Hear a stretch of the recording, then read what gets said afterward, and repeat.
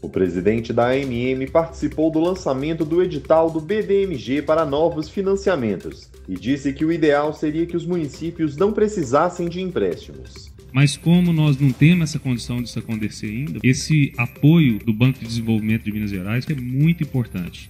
Ele recebeu elogios pela sua atuação em defesa dos municípios. Que é nosso companheiro já de caminhada pelas estradas de Minas, pelos municípios. Pelo trabalho que faz representando a todos os municípios. Na reunião do Comitê Covid-19, Juvan debateu a reabertura econômica no âmbito do programa Minas Consciente. Ele também participou da abertura da primeira oficina Cisema MM. Capacitar, né? Para a gente poder trabalhar e usar isso que a gente tem é, em favor dos municípios, né? O presidente da AMM ainda conversou com prefeitos sobre os impactos do desastre em Mariana. A associação está à disposição para poder fazer o que for preciso.